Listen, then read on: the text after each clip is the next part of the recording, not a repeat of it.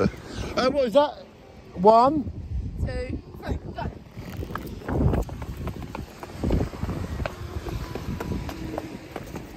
Right, and now we've got to go back up and do it ten times. Right, go. All right, yeah, yeah.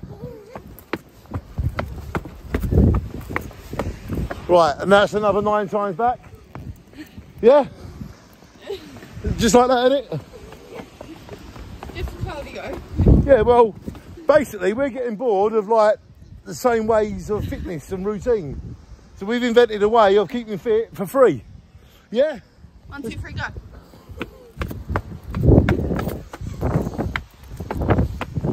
Make sure you keep fit for free, like we do. Yay! Go, go,